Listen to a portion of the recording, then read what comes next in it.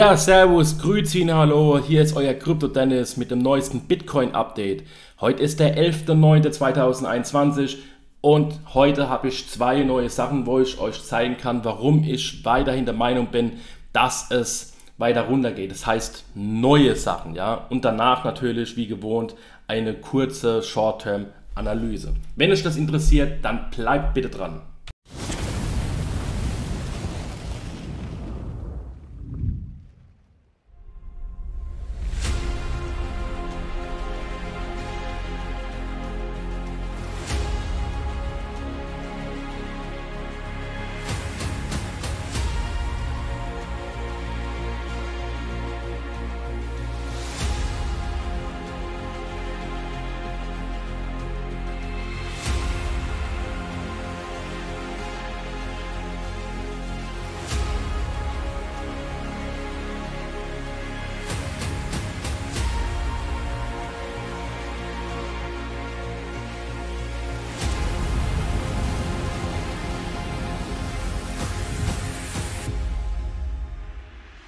So, bevor wir anfangen, würde ich mich natürlich freuen, wenn ihr ein Like da lasst, teilt dieses Video mit Freunden, abonniert den Kanal und aktiviert auf jeden Fall die Glocke, um in Zukunft nichts mehr zu verpassen.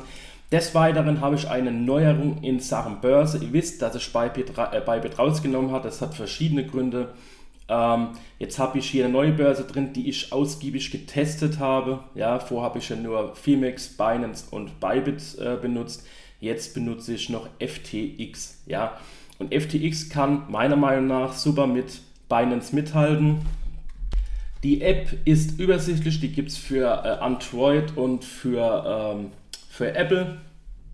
Und mit diesem Link könnt ihr diesen Kanal unterstützen, wenn ihr euch anmeldet und darüber tradet. Da gibt es einen 5% Cashback auf eure Fees. Ihr zahlt ja wie jeder von uns Fees, wenn ihr zum Beispiel Long seid und für die, die Longs müssen Fees zahlen dann äh, an die Shorts bzw. An, die, äh, an die Börsen, da bekommt ihr einen 5% Cashback eurer Fees dann wieder zurück. Wenn euch das Trading interessiert, wie gesagt, ist alles risikobehaftet, muss man natürlich dazu sagen, egal ob es FIMEX oder FTX ist, dann probiert es mal aus, meldet euch an und guckt euch das einfach mal an. Ja? Die Registrierung geht sehr, sehr schnell. Des Weiteren hier sind hier die äh, Telegram-Gruppen Content Only von mir und der Austausch Diskussion im Crypto Talk. Und wenn ihr Lust habt, TA zu erlernen, ja, und den Wave Reader benutzen wollt, dann sprecht mich bitte an. Ähm, dann bekommt ihr Infos zur Bull vs. Äh, Bull vs. Bear Akademie. Das ist natürlich äh, ein Verein. Des Weiteren kann ich euch ans Herz legen, mal in, bei Kevins Kanal vorbeizugucken. Der ist Spezialist in Sachen Elliott-Wellen. So, kommen wir aber jetzt zum Chart. So, dann habt ihr hier die Bitcoin-Dominanz. Das heißt, ähm, wie viel Prozent äh, ist, ist, die Gemeinschaft, die Kryptogemeinschaft in Bitcoin investiert und wie viel Prozent in äh, Altcoins. Im Moment haben wir eine Bitcoin-Dominanz von etwa 41 Prozent. Also hier, das sind die Candlesticks, wo ihr seht im Daily Chart. Hier in Orange haben wir den, den Bitcoin-Kurs. Ja, den habe ich jetzt mal mit reingebracht, um euch was zu zeigen. Ja. Und zwar, wie gesagt, äh, viele Sachen tut man ja von der Vergangenheit herleiten, ja. Und ich sehe da Parallelen. Das ist das, was ich jetzt meine, was Neues, was meine These unterstützen würde, dass wir jetzt in einen Bärenmarkt kommen würden. Und zwar, guckt euch das mal an, ja. Hier haben wir in der Bitcoin-Dominanz einen doppelten Boden, ja. Was ist jetzt in diesem Zeitraum, wo er das hier geformt hat, in der Bitcoin-Dominanz, mit dem Bitcoin-Kurs passiert? Auf dem Weg hier nach unten beim Form des Doppelbottom ist der Bärenmarkt eingeläutet worden. Ja? Ich denke mal, das ist gut ersichtlich hier. Wie er den Doppelboden geformt hat, sind wir in langsam aber sicher in einen Bärmarkt reingerückt. So, jetzt gucken wir uns mal das aktuell an. Ja, wir sind wieder hier auf dem Level.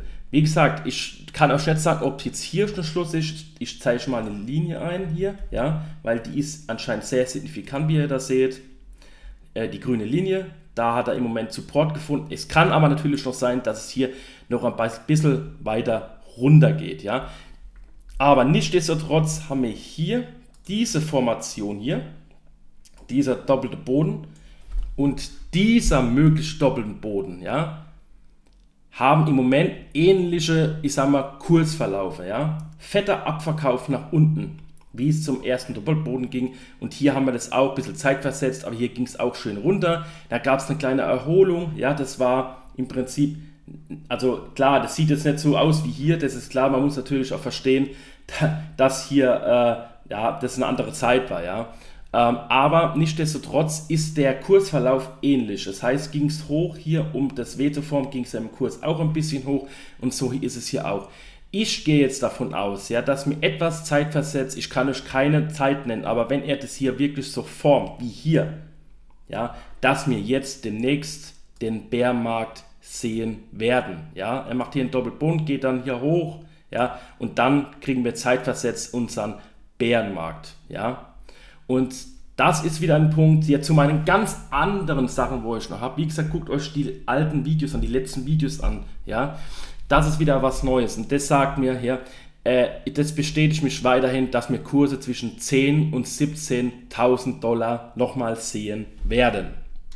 Ich hoffe, das hat jeder verstanden. Wenn nicht, guckt euch das nochmal an. So, wir wechseln jetzt zum zweiten, wo ich sage, hm, das könnte auch bearish werden.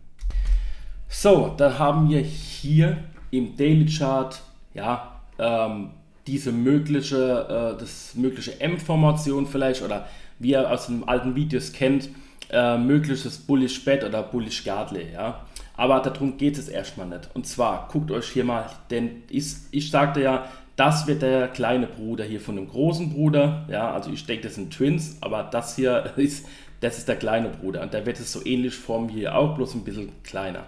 Was aber bemerkenswert ist, schaut euch mal jetzt das Volumen an. Hier, das Volumen ist da, erstens haben wir viel mehr Volumen als hier, ja, und trotzdem ging es schön hoch. Des Weiteren war hier das Volumen ja abfallend, bevor es dann hier zum Abverkauf kam. So, und hier sehen wir was ähnliches. Das Volumen nimmt weiterhin ab, ja. Und ich gehe jetzt davon aus, dass wir demnächst, nachdem wir jetzt nochmal einen Rebound nach oben gemacht haben, auf das 0, äh, ich sag Golden Pocket bzw. Diamond Pocket, da kommen wir gleich nochmal dazu, dass es dann wirklich einen weiteren größeren Abverkauf geben wird, bevor wir hier wieder auf dieses Level von etwa 30.000 stoßen werden, was sehr, sehr dann äh, signifikant wird für, für Bitcoin. So, jetzt wisst ihr wieder zwei Sachen, wo ich sage, hm, das wäre jetzt auch wieder bearish zu werden komme jetzt zum Chart.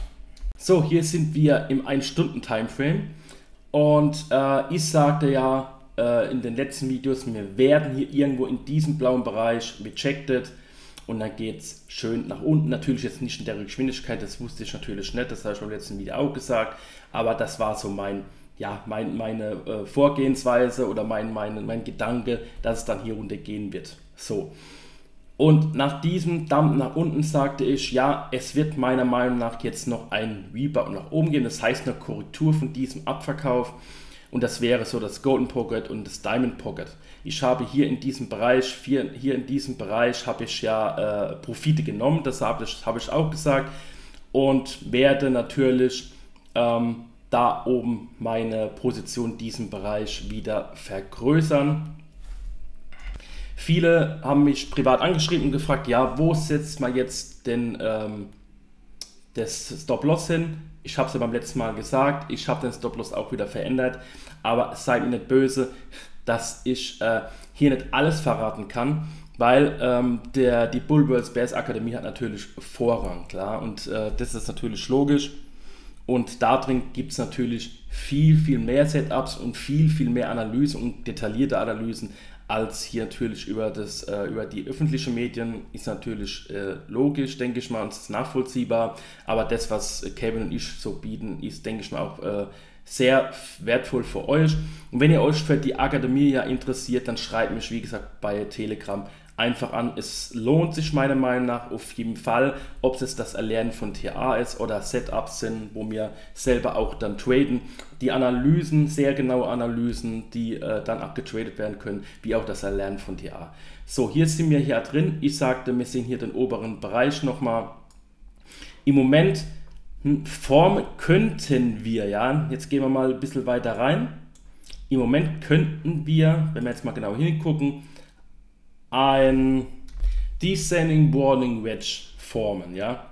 Gehen wir mal da oben, da geht es runter. Hier geht es so runter, dass es ein Boarding, ein Descending Boarding Wedge, ein mögliches. Ja? Des Weiteren, wenn man nochmal genauer hinguckt, ja, da müssen wir mal in den kleinen Zeit, dann gehen wir mal in den 30-Minuten-Chart.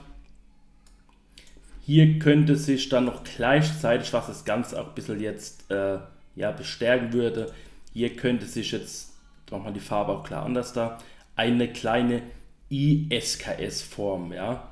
ja. Wo bist du? Farbe, hier ist die Farbe. So, und das würde uns wahrscheinlich Auftrieb nach oben gehen, sodass man da oben wieder an dieser äh, gelben Neckline dann landen werden. Ja, so. Jetzt wisst ihr Bescheid, was ich sehe, was ich äh, auch äh, ein bisschen long-term sehe, warum es nach unten geht, was jetzt in der nächsten Zeit passiert. Ja, ich würde mich freuen, wenn ihr, wenn wir in, in Crypto Talk äh, zusammen uns austauschen könnten. Und ich wünsche euch noch ein schönes Wochenende. Bis zum nächsten Mal. Euer Crypto Dennis von der Bull vs. Bears Academy. Ciao.